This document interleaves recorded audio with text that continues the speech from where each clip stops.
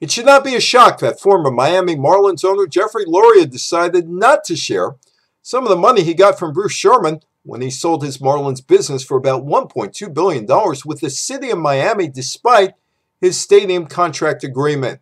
Loria's lawyers were smart enough to put a clause into the deal between the city of Miami and Loria for the use of the publicly owned and funded baseball stadium for Loria's business that shielded him from having to share some of his money after he sold the business. It's not surprising that an owner was able to take advantage of a loophole.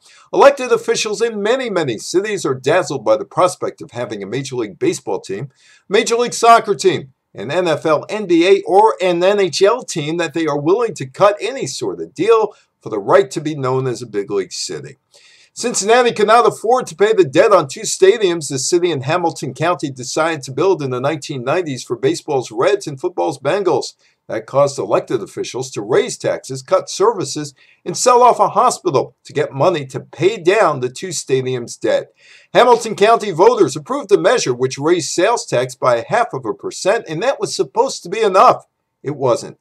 Indianapolis is paying Pacers owner Herb Simon millions of dollars to keep his NBA team in town through 2024. Louisiana was paying NFL Saints and NBA Pelicans owner Tom Benson to keep his sports properties in New Orleans. Las Vegas and Nevada will be putting up $750 million for Mark Davis and his Oakland Raiders partners to move his Raiders to town and the new stadium. It's unclear if Davis will be paying any rent to use the building. Jeffrey Loria's deal was not unique. I'm Evan Weiner for the politics of sports business.